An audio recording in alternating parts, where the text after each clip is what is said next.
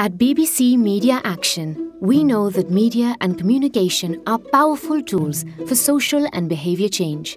In Bangladesh, Ethiopia, India, and South Sudan, our health programs have reached an estimated 90 million people.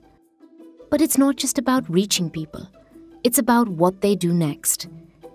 Human beings are complex, so it's not always as easy as listen, learn, act.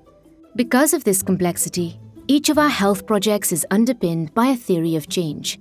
In other words, how we expect media and communication to lead to change by influencing things like people's knowledge of the correct healthy behaviors, talking about health issues with family members or health workers, people's feelings of motivation and confidence about new practices, and people's perceptions of what others in the community think and do. Take antenatal care.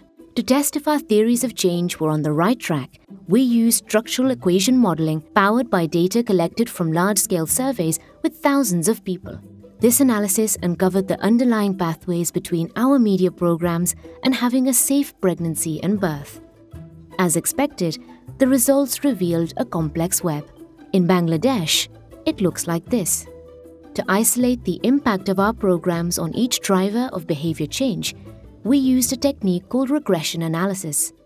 We found that women who watched our programs were significantly more likely to know that they need to attend antenatal checkups and be able to identify at least three benefits than those who did not. They were significantly more likely to think that it's normal for women to go to antenatal care in the first trimester of pregnancy. Their discussions with their husbands were more helpful and accurate. And, ultimately, they were more than twice as likely to have gone for antenatal care during their most recent pregnancy. We use statistics to test our theories about behavior change and to rule out other explanations such as income, education, and distance to a healthcare provider.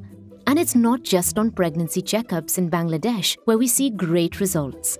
We have found that audiences exposed to our programs in Bangladesh and Ethiopia know more, discuss more, and are more supportive towards a range of maternal and child health behaviors. All of this research, in addition to qualitative methods we employ, adds to the growing evidence base showing how mass media can help change behavior and improve health outcomes across large, diverse populations.